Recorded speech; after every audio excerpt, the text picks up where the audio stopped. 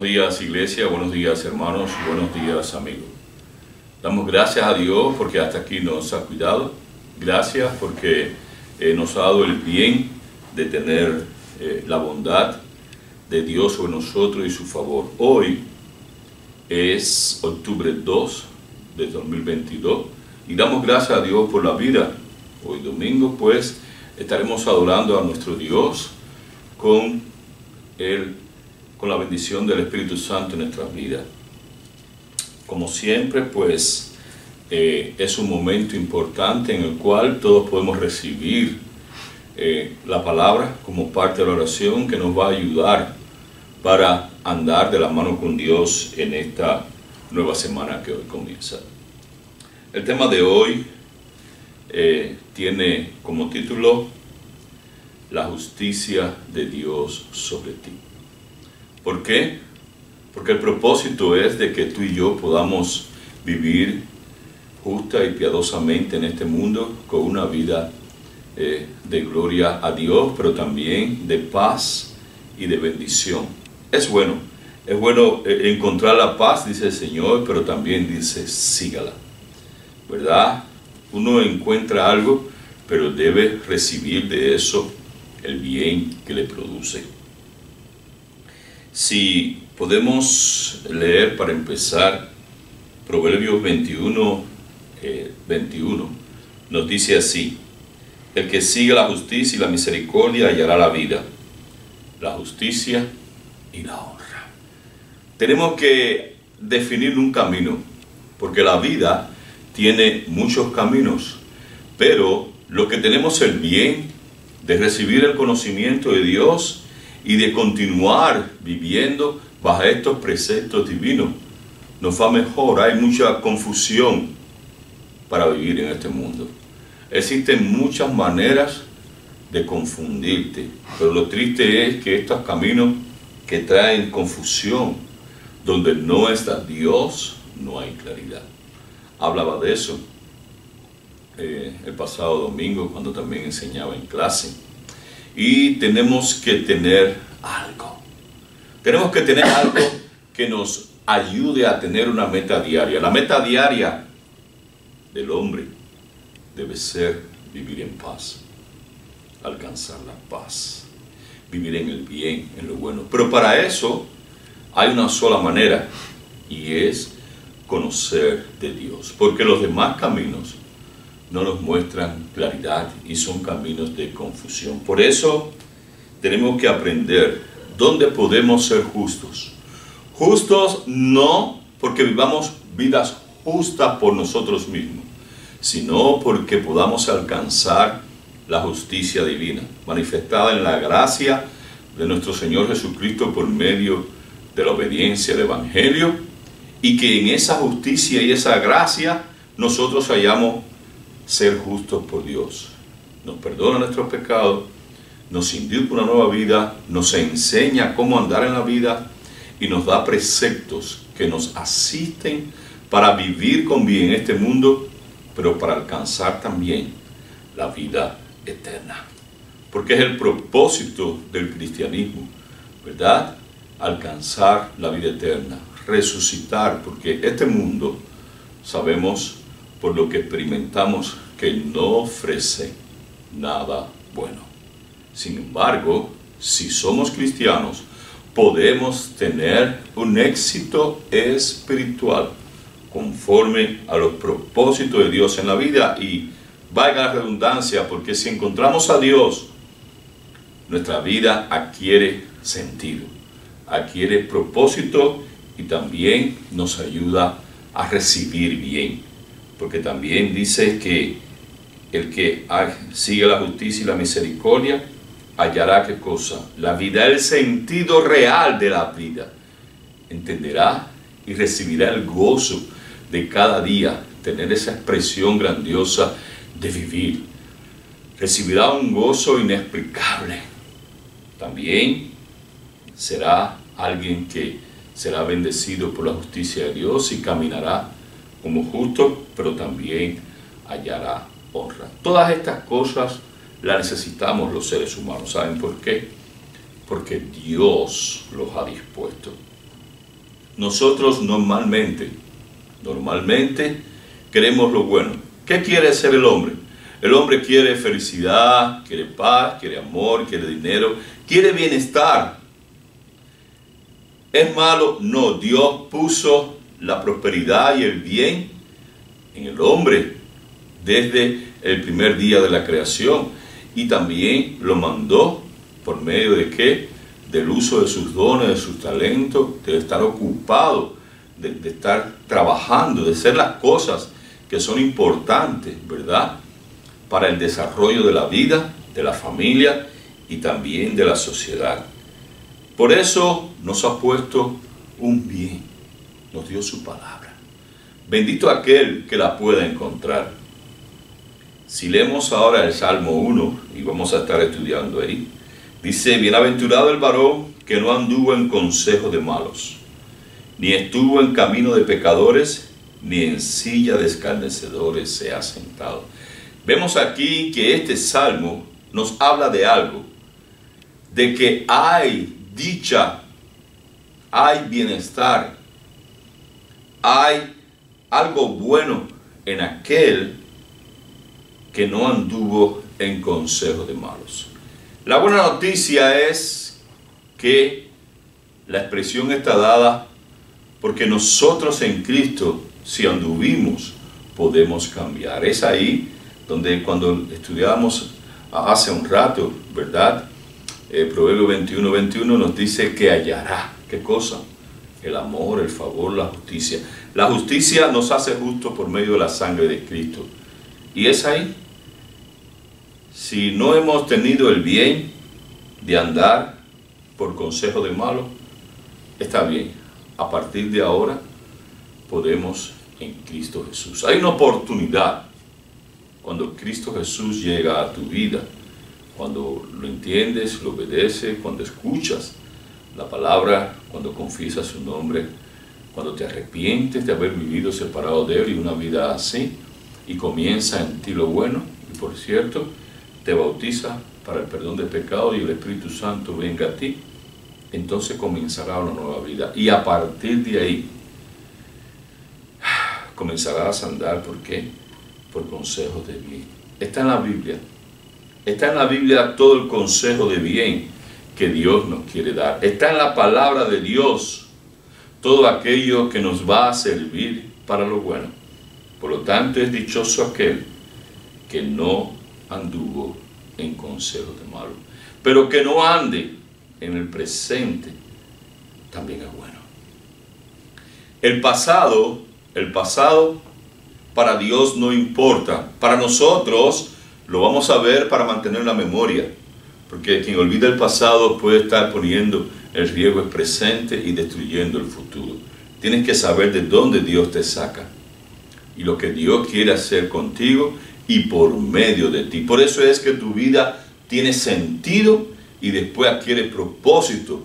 Y es algo en lo cual nosotros tenemos que recibir, ¿verdad? Con gozo, con alegría, con mente abierta, con cuerpo abierto, con el corazón abierto, ese bien de Dios para nosotros. Pero dice también que es bienaventurado si no estuvo o ya no está en camino de pecadores.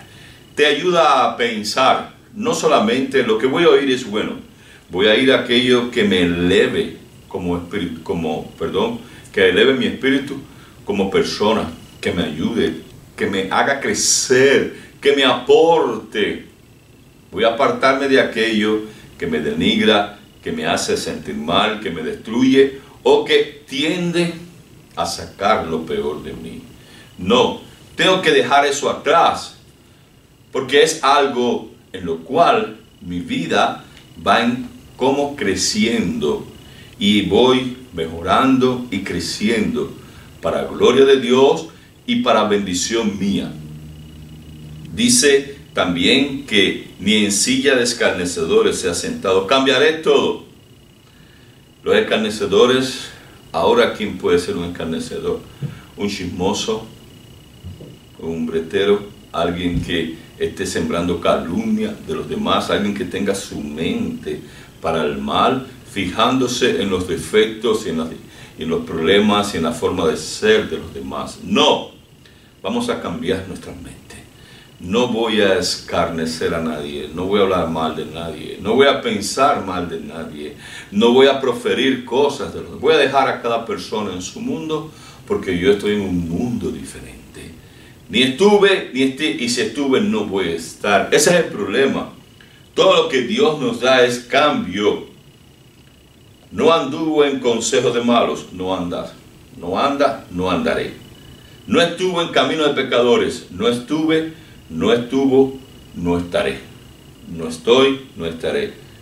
Ni en silla de pecadores se ha sentado, tampoco dedicaré mi mente, mis labios, mi cuerpo, mi mano, cualquier cosa. ¿Para qué? Para hacerle mal a nadie. Voy a dejar a cada persona en su mundo, en su forma de ser, a su manera. Si no puedo ayudar a nadie y si alguien no demanda de mi ayuda, lo voy a respetar. Solo voy a, ¿qué? A orar, pero no voy a proferir mal ni voy a hacer mal a nadie. No voy a hacer de que sea escarnecido. Esa palabra es una palabra fuerte, ¿verdad? Porque habla de situaciones malvadas, pero no vamos a hablar de eso. Quiero solamente coger lo bueno. ¿Por qué? Porque dice el versículo 2, sino que la ley de Jehová es su delicia y en su ley medita de día y de noche. Cuando aprendemos de Dios y recibimos de Dios todo lo bueno, y escucho y veo y leo y me mantengo en los preceptos divinos que están plasmados en su palabra, olvídese, va a ser una bendición todo. Porque yo voy a meditar en lo que de Dios aprendo, en lo que Dios ha dicho, en lo que me aporta, porque eso de Dios me va a bendecir. Lo dice aquí, y por eso voy a hablar, voy a meditar, voy a buscar siempre la manera de estar conectado con Dios por medio de la alabanza, por medio de lo que escucho, de una música, de cualquier cosa, pero que solo sea por medio de la creación por medio de admirar la creación, por medio de hacer las cosas que obedientemente tengo que hacer, porque la palabra de Dios lo dice, ¿verdad? Todo lo que hagamos, hagamos para honra de gloria. Si estoy trabajando, tengo que hacerlo para honra y gloria de Dios, pero tengo que hacerlo bien, desde mi condición, desde mi condición. ¿Cuál es mi condición? Ya lo hemos dicho antes. El hombre no es por sí mismo solamente un hombre o una mujer es un hombre, pero puede ser también ya, es hijo, es hermano, es tío, es familia, pero también puede ser padre, es esposo, eh, es ciudadano, es trabajador, miembro de la sociedad, es hermano en la fe. O sea que vive en comunidad. Y si usted hace lo correcto, o quiere hacer lo correcto, o se mantiene haciendo lo correcto solamente, lo aprenderá en la palabra de Dios, porque todo lo que haga tiene que hacerlo para el Señor y no para los hombres. Si voy a tomar cualquiera de las funciones que Dios me ha dado en este mundo, y si es mujer, ya es hija, ya es hermana, ya es familia, ya es tía, sobrina, tan, tan, tan, tan, pero también si tiene el bien de ser madre, ya es madre. ¿Ok? Entonces, pero puede ser también trabajadora, puede ser, es ciudadana, ya es un derecho que tenemos todos al nacer o a vivir en cualquier país, forma parte de una comunidad, si es de la iglesia, las iglesias, en fin, si está en el vecindario, los vecindarios, el mantenerse ocupado en sus pensamientos, en las diferentes funciones que Dios nos ha dado, nos ayuda a crecer y a estar bien como persona. Eso solamente podemos recibirlo si meditamos. ¿Dónde? En la palabra de Dios. Dice aquí el 3, será como árbol plantado junto a corrientes de agua, que da su fruto a su tiempo y su hoja no cae y todo lo que hace prosperará. ¡Qué bueno! Dice que voy a estar como al lado del agua. Voy a estar al lado de un río. Voy a ser un árbol. ¿Qué hace un árbol plantado? Ya lo dice todo me va a ir bien y yo voy a prosperar, la prosperidad de la salud, de la paz, del amor, de la bondad. Voy a estar viviendo en lo infinito de mi Señor. Y además de eso tengo promesa, perdón, de vida eterna. Y ese árbol que está plantado va a dar su fruto en su tiempo. Las cosas serán bien en su tiempo. Es importante. ¿Cuál es el tiempo de los frutos? Muchas cosas buenas hay, porque si voy a dar fruto significa que hay semillas de bien. Un árbol que no da fruto no tiene semilla de bien, no tiene propósito. Ahí tendrá un sentido dar sombra tal vez, pero no tiene propósito. Encontrar el propósito lo encontramos en la Biblia. Y dice, ¿verdad? Que aquí vemos lo que enseña. Voy a dar fruto, fruto de amor, de paz, de bondad, de cuidado, en su tiempo, según sea su tiempo. ¿Ok? Como vemos también, lo sabemos en la Biblia, hay tiempo para muchos, para varias cosas. Lo dice que sea tiempo de amar, tiempo de regar, tiempo de sembrar, tiempo de construir, tiempo de destruir, tiempo, tiempo, tiempo y tiempo de nacer, pero también habrá tiempo de morir. De todas formas, hay abundante fruto. No importa la edad que tenga, no importa el tiempo que ha conocido esto. Esta palabra puede hacer cambios en usted. Y que su hoja no cae. Y lo mejor dice que todo lo que hace prosperará. Hay mucho bien de Dios para ti y para mí en este mundo. Hay tanto bien de Dios que está puesto delante de nosotros y tenemos la posibilidad de recibirlo. Dios te manda, ¿verdad? A que puedas, o oh, bueno, te aconseja, te aconseja de que puedas recibir el bien de su palabra para que permanezca dirigido por su amor, por su justicia y por su gracia eterna. Todavía hay mucho bien que puedes ver antes de que finalice el año. Estamos en octubre, noviembre, diciembre. Hay mucho bien. Hay cosas buenas delante de ti. Ve por ella. Ve por ella si eres capaz de permanecer, de permanecer en la justicia de Dios. Dios quiere que seas y que vivas, eso sí lo quiere, como alguien justificado por Él, pero también bendecido y en su justicia para que te vaya bien. Bendiciones a todos en esta nueva semana. Deseo que Dios te guarde, que el bien de Dios puedas recibirlo y que puedas continuar. Porque el problema no es llegar a algo, sino permanecer. Permanecer recibiendo el bien que te ha dado. Feliz semana a todos. Recuerda, Cristo te ama y yo también en su nombre. Dios te bendiga. Amén.